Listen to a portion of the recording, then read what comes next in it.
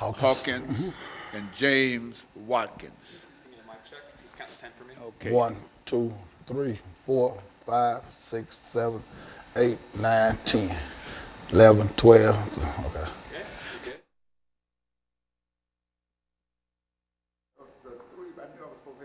Count to 10 for me.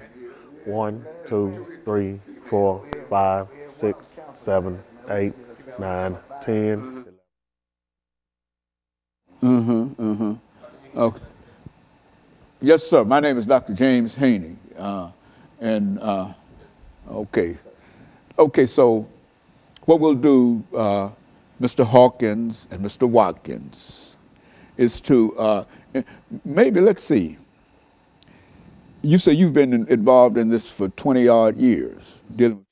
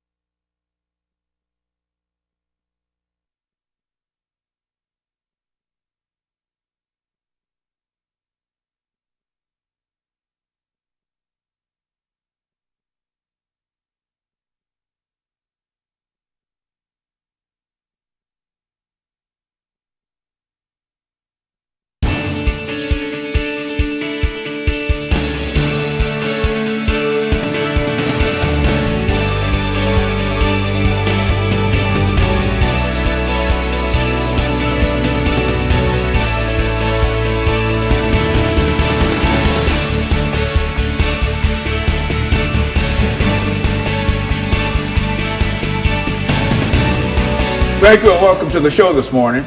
The topic this morning is child support in Tennessee. And we're fortunate to have with us to talk about child support in uh, Tennessee uh, Mr. James Watkins and uh, Mr. Phil Hawkins. And of course, let me welcome you, Mr. Watkins and Mr. Hawkins, uh, to the.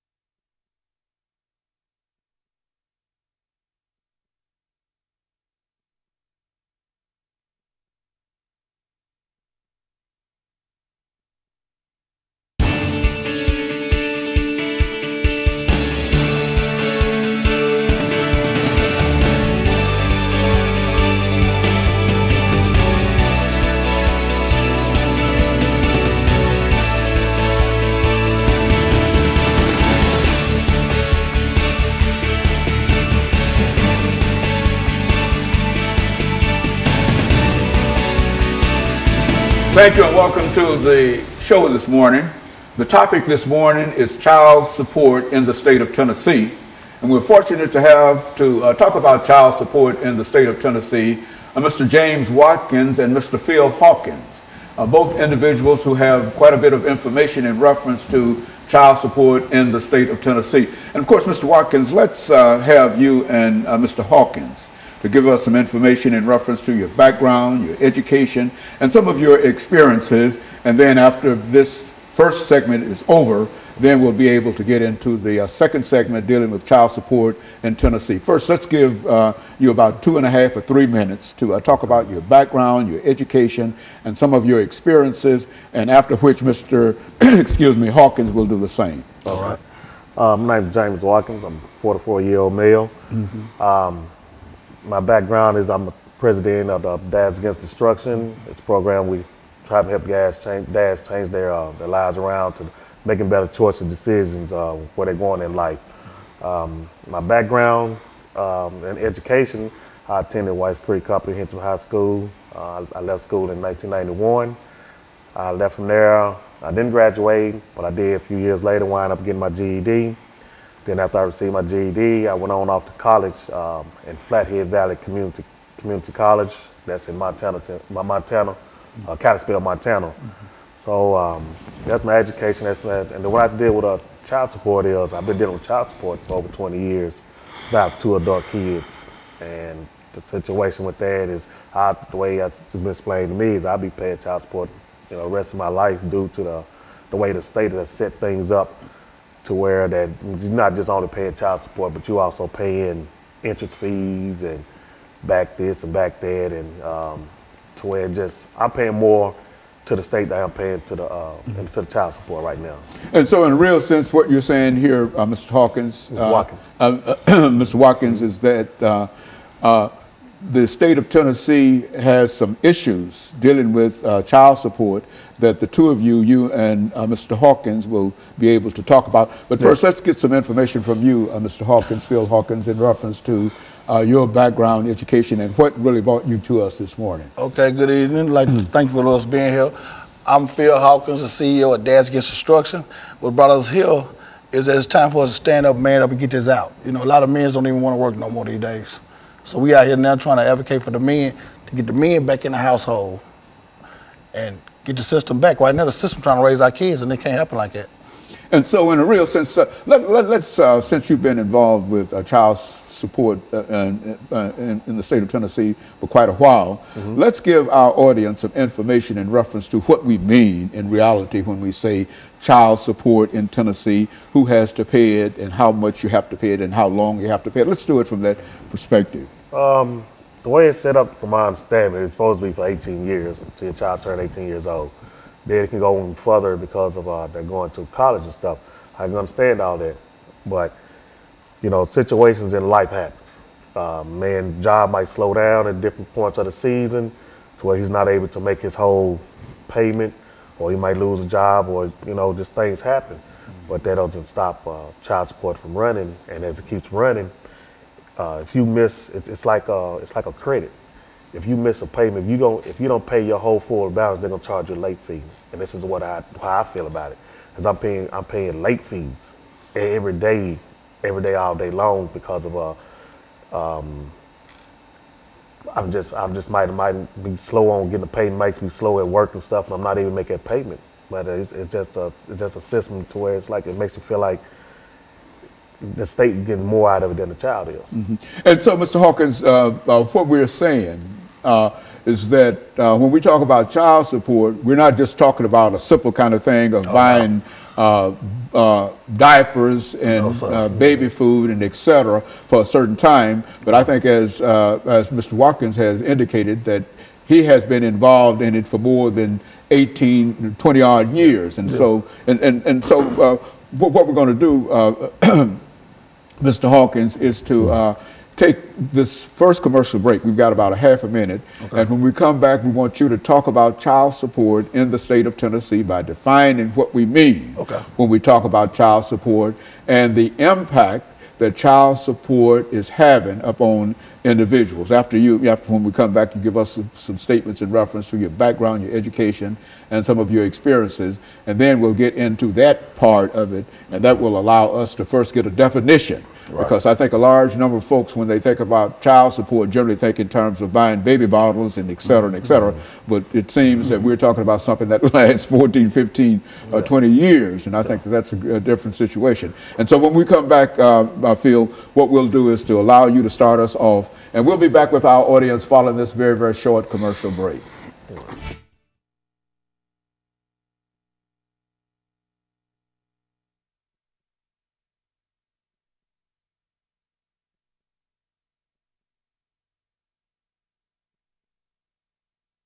Child support in Tennessee. This is where you, you start because you're going to have four minutes at least before you turn it over to him. Okay. You listen to what he's saying and anything that you think that you might be able to elaborate upon or whatever, or to expand it or whatever. I'm learning something. Because I was of the impression that uh, child support, you know, uh, I, I know there might be some situations in No, it's- reference to it, but I didn't know it was a, a it's- lifelong it's a- kind of situation. Oh, yeah, terms yeah. of- A judge, a judge said, told me, Uh-huh. so you'll be paying child support the rest of your life. Uh-huh. One way or the other. Yeah. Is that the program. is? That's what he told me. Yeah, program so- where the man can't win. Uh-huh. Yeah, you well, that's what. sometimes, If, if y'all see some problems with, with the issue of child support and et cetera, we're not talking about uh, something that uh, we're trying to neglect children or, or Yeah, whatever, and et right. cetera. I mean- but what we're trying to indicate is that it creates a problem for. Uh, big problem. I'm out, I'm out now trying to pass a, get a bill passed, a law passed, to give men uh, 90 days. Okay. Oh, okay. So, oh, oh, okay, anytime you're ready. Then. Okay. So we're going to come back and.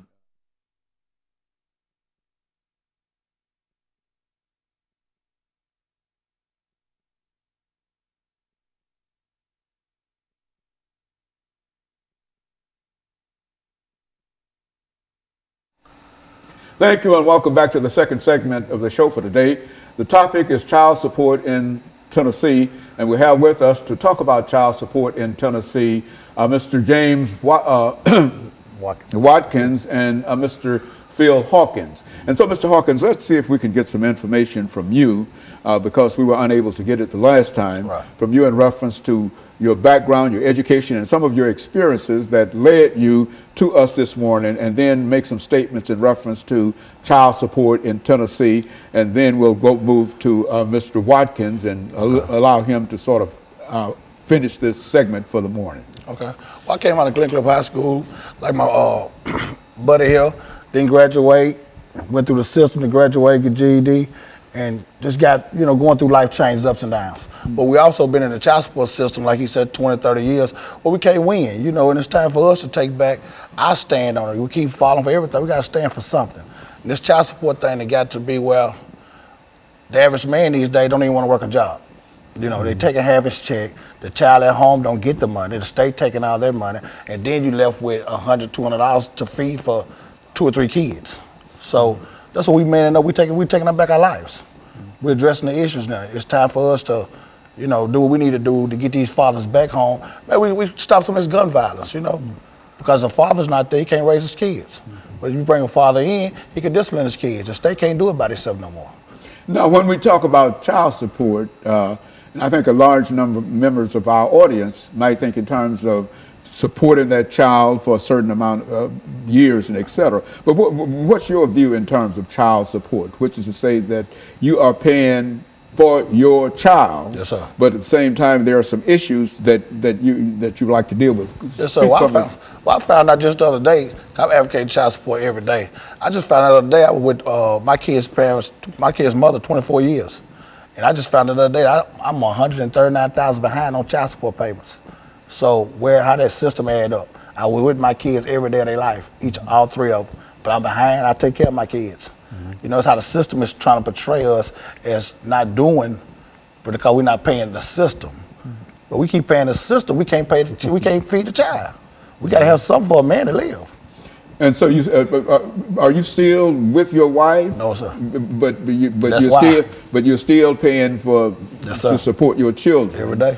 And you feel that uh, they're taking more money out of whatever salary you have Yes, sir.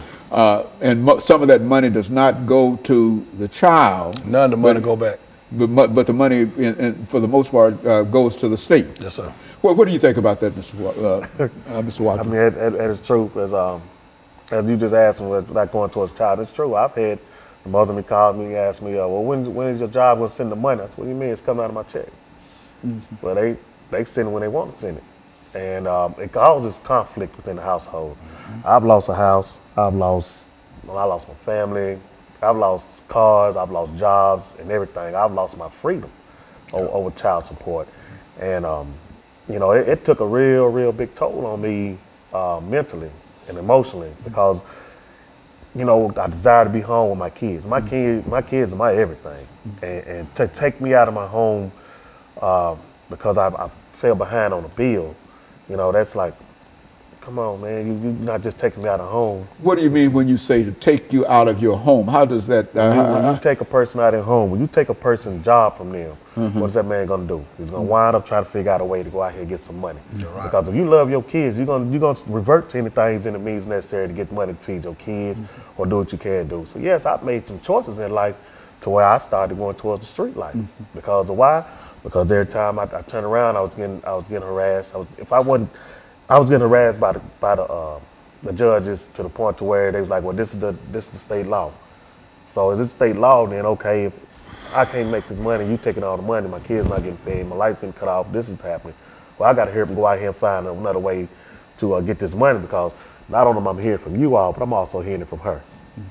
you know, and, and when that all that takes, all that comes into play, it pushes a man outside that household to where he's looking to where, like, man, what am I gonna do? So when we sit up here, and we on, we look at these uh, uh, other young men out here on these streets, and they trying to do different things. You know, when I talk, when the first thing come out of their mouth, man, I gotta, I gotta feed my kids, man. And you know, it's, it's like that's where that uh, uh, destruction come in. So we, me, and Phil Hawkins, we have been through it, and we have fought through many things to try to uh, maintain a fatherly uh, relationship with our kids and everything, which we are, which we still do. Just because they took us out the home don't mean we still ain't in our kids' lives. But uh, we, we still try to try to you know educate the younger men, young, uh, the future and everything. To hey, we're gonna try to get some help because I, I know where you've been, I know where you're going and stuff. So, um, uh, uh, um, Phil, when you think in terms of child support in Tennessee, what would you consider to be the most destructive thing that the state of Tennessee is doing in order to either uh, help you or prevent you from uh, really supporting your children? I mean, the first thing they're doing, they not they need to let the dads or father be a father. The state cannot raise or come in a household and raise them raise kids, and that's what they're doing. They make sure the father's not there by leading the mother wrong. Make sure the father not there. So there you go. You got a, a son and daughter just being raised by the system, and we already know that's going to lead to a, a broken cycle. So we out here now trying to bring that cycle to, to fix the broken cycle. You know, to get this right, bring the fathers back in the home, take care of the kids, take care of their families. It's just a mm-hmm. man up process. You know, we, we need help with it. And, and, and, and so if, if, if the state is paying that household child support, mm-hmm. the father cannot be in the household. Is that what we're saying? Yes, sir. That's right. And, and, and, and, and so which means that I think as you were indicating, Mr. Watkins, that that sort of pushes you out into the street. Yeah, it- you see, in order up- for her to yeah. receive. A ma- man is going to try to figure out some way to not only that that you push that man outside that household, but he also got to go find a house to where he got to stay now. Right. So that's another bill. That's another situation where he got to like, okay, he got to go and try to wind up in a, a shelter. You're going to wind up in a hotel. You're going to wind up in a friend house. You, you bouncing around, bouncing around in different places, trying to live and trying to uh, provide stuff. It, it takes away your self, uh, uh, your, your self, uh, uh, Self-esteem. Downhill spiral. Yeah, and, and it's, that's, that's what we call destruction. So it's, it's when, when, when, you know, it, it does a lot of good, but then also it does a lot of harm too. Because when you take a, take that man out of that household, then you got these these uh, young boys running around here, and then you telling me I can't I can't I can't discipline my child. Then you go to school, you, you get in trouble, you get secret indictments out on you because of uh, you discipline your child because your child said it. Well, the man in the household doing something wrong, so let's get him out of here. No, not every man is doing something something destructive to tear his child down. So there is, uh, over the last 22 seconds we have in this segment, there is no father in a household where there is child support. Right. Right. And the ones there, the uh-huh. state still want their money too. Yeah. That's I've mm-hmm. no way. Battle. that creates a real problem. and of course, what we'll do, we'll take this second commercial break, and we'll be back with our audience following this very, very short commercial break.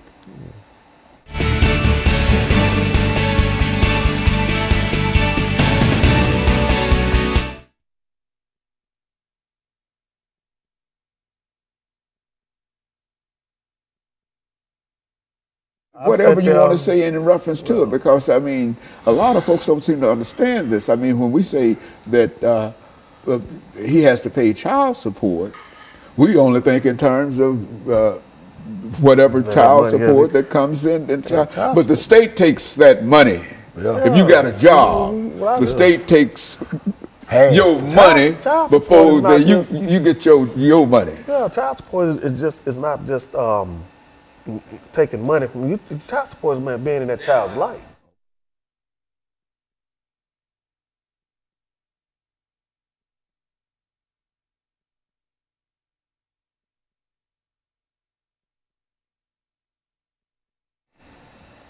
Thank you and, w- and welcome back to the final segment of the show for today. We're talking to Mr. Hawkins and uh, Mr. Watkins in reference to child support in the state of Tennessee. And let's see, uh, uh, Phil, if we can pick up uh, with you this morning Okay. and to have you to uh, talk to our audience this morning about some of the issues that you have to face if you have to pay child support and how long that child support can be and et cetera. And then you say as much as you wish to about it over the next 10 minutes. And then uh, Mr. Watkins will end us uh, for the day with some of his observations in reference to it. Let's do it from that perspective. Right now, child support, currently, you got to pay child support as long as that child is attending high school or, or they go to college, you still got to pay child support. And which, in terms of that, it, it hurts the father, it hurts the whole family. We're trying to keep families together. We keep unity in the family, the mom and dad not arguing, everybody having, you know, getting along. The kids can be more productive going to school. They're not listening to argument all night. You know, the dad and mom having, they, everything's going all right. But with this child support, how it is now, it's just too much chaos in the home. The father not making the money he's supposed to make. He better can take care of himself. Then the state taking half his check, so he coming home with a half a check to take care of his family of three and four. So that leads them to a broken cycle of despair. I mean, you know, alcoholism, drug addiction, all that, you know, comes in a part of because the man's get to the I, what can I do? You know, I'm just out here, you know. We're just trying to change a lot of that. We're like, we got a program now, now. We're trying to do it 90 days. Mm-hmm. Get each father 90 days. Mm-hmm. No child support. 90 days to get themselves together. Get a job, get yourself together, stand up. And that, then you, the child support can start taking some out. You know, work out a little modification program mm-hmm. with the father, but you can still get a mother a $100 a month. But that's a whole lot better than taking a man half a man check. You know, it's giving a man some kind of hope that he can be productive, he can go home, he can buy his kids uh, a decent pair of shoes, you know, diapers or whatnot. But right now, how they got it, we just we just losing battle. You know, we Yeah. have to reform this. And, and, and, and, and so, Mr. Watkins, there are a large number of uh, men, not only African American men, but specifically we're concerned about African American men in, today in reference to what we're talking about here.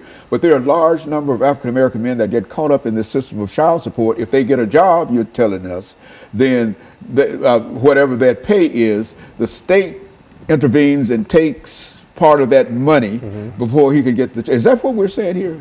Yes. Talk about Yes. that. Um, yeah, it- you know, when when a man comes, you know, goes to court. Um, I've been in court situations where a judge actually told me I've lived in the household with my kids, the mother, and everything, and asked was I child, paying child support, and I said, yeah. I'm thinking they're gonna say, okay, you in the household, so we're gonna stop it. He asked, he asked the mother, was, was he helping? He told me, yeah. Turn around, judge told me keep paying. You know, that's, that's just one of the situations. Uh, another situation is when um, just uh, um, a woman can call, a man can get out of jail. After he done his na- 81 days, 82 days, he can get out of jail and they'll give him a review date to go back to court. And in that review date, that woman has the, the, uh, the ability to call the, the judge and say, I want, I want to speed up the process. So if that man doesn't have a job within that time of, uh, uh, the judge has allowed, well, guess what? He's going out back to jail. And, So- and, and, and so uh, uh, child support in the real sense has the ability to land folks almost immediately in jail Oh, yes, sir. and then That's take half of the uh, paycheck and And on top of that, not only that you, you go to jail, but you also still pay child support. Yeah, Well, child you- is It's sitting there. it's still accumulating. So it's it's it's not it's a it's a it's a law they say, and uh, there's nothing. It doesn't stop. It, it just does not stop. Just because you sit up there doing ninety days, Six eighty months. days, six months, eight months, it doesn't matter. Just still gonna keep paying. You still gonna keep paying in one way or the other. While you sitting there in jail doing nothing, or you sit out here in the streets doing nothing, they still gonna want that money. Mm-hmm. That the And state if that done away with the father. Mm-hmm. Well, What's going on with the kids at home then? Mm-hmm. You know, the father not here. What's going on with the kids? The son growing up, he watching the neighborhood drug dealer. The daughter growing up watching her brother with the money. She want a she want a boyfriend with the money now.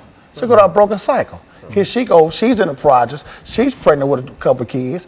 The cycle continues. We have to reform this child support. But like you said, the, the black man, we're in trouble. We won't have a second generation. How things going now? We got too much going against us as it is. You know, we're trying to stand up and man. We we going out here every day. We feeding homeless. I mean, we buy our own personal money. You know, socks, t-shirts, take to the homeless camps.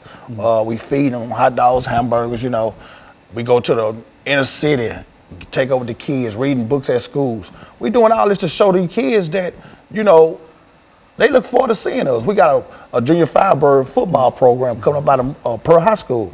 With those guys every day, the little fellas, we teaching them along the way, you know, how to man up, how to be young men, you know, by reading skills and math skills. So it is things that men can do out here that we are positive. You know, instead of keep getting a bad rap for all this violence, now we it's, it's good men out here, and we just want to be known.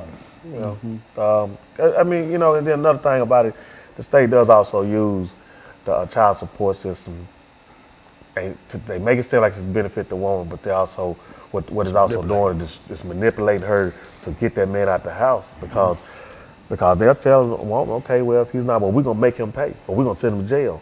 And by the time the woman's got fed up with so much stuff, you know, her mind is going in a whirlwind and she's looking like, oh, what am I doing? What am I doing? So when the argument started inside that household, when that fighting started starting in the household, then that man is pushed out that household and, and if he starts uh, getting on his feet trying to do better, that woman gonna want a piece of it right now. And say, well, he got it. We, we need to go get it right now. So you, you got to give a person a chance enough to say, hey, okay, um, you got to let a man be a man and let him in his household and work it out. Because you keep pushing him outside that household, you just continue destroying that house. And when when you do that, then that's when you're gonna see a whole lot of jail system filled up. I, I look at this, you know, I think they building up another jail right now. Modern day slavery. Well, look here. the- the- Is, is there any effort, and I think that you've already mentioned that there's an effort on your part to deal with uh, the state legislature to pass a law and etc. What would such a law be like? And, We're looking and for- what would, would such a law say? There'll be a 90 day program. In this 90 days, a man can man up, get a job, get himself together, get housing, get adequate clothes to go get a proper, you know, a job, a better job if, if need be, where he can reach a child support level or balance out. Okay, within this process, each month he would get a mom in return $100. dollars mm-hmm. You know, he's trying to get himself back up, just redeem himself. You know, that's what we got to do. We have to have that 90 days before they got a bill out now that's saying when you go to the custodial parent and y'all can make an agreement to pay your child support on time for a year and they'll waive all your back pay. Mm-hmm. But these men need some immediate. You know, what if they don't have adequate shoes to go to an interview? Give them a chance to get on their feet where they can be productive citizens and then go into it. A person who might be arrested, uh, Ms. Watkins, we're saying, for not paying child support, that he serves his time, and as soon as he's out of jail, he's been in jail for whatever that time might be, and as soon as he's out of jail, he has to immediately start paying child support. That's right. Is that what So we're as- saying? as soon And that's why you feel that there ought to be some kind of Reform. reform within the system. Help us out. We gotta Yeah. give us a uh, give us a time frame. You know, 90 days. We can get out, get on our feet, get a nice decent job, get adequate clothing. You know, to be productive. You just coming out of jail, You're behind. You know, everybody needs assistance. system. Sometimes there's a lot of men who didn't choose the right path, but a lot of men who have. You have men in the household that's all working, that's all taking care of their kids, and they still is in the child support system. You know, so it's it's not it's a no win situation for us. So it's a real problem when Real a problem. mother decides that she's going to have that individual, her husband, to pay child support, that has created a real problem for him. Is that what? Oh yeah, yeah, because you're taking the man's self-esteem away from him. Because uh, you know, a man, a man that's living inside a household, taking care of his kid, prides himself off of that. You know, mm-hmm. and when you when you keep talking about money, money, money, and then this man go out and work a legal job, mm-hmm. and you make him feel like, hey, it's not enough money. Mm-hmm. you know, you may- you you take you you taking his self-esteem down to where that that'll break a man down to the point where he stopped doing other things. And like I said, destruction could come to where you could be turned to alcoholic or drug abuse and all that. And it's, it's just a lot. It's a it's a it's a wide variety of things that can happen. And that's why we're like, okay, let's let's see if we can get together and talk to the uh, to the mayors, the governors, legislators, and stuff to see how we can get the man and the woman back to working together as one to bring it back to the household and, and build these uh, these households up and build these kids back up to where it's supposed to be. And, and so over the last 10 seconds we have here, so that's the objective of your organization to sort of bring the state legislature and others together to deal with this as an issue. And of course, uh, let me thank the two of you for coming by, and let me encourage our audience to tune in again next week to another informative edition of Comments. Thank you and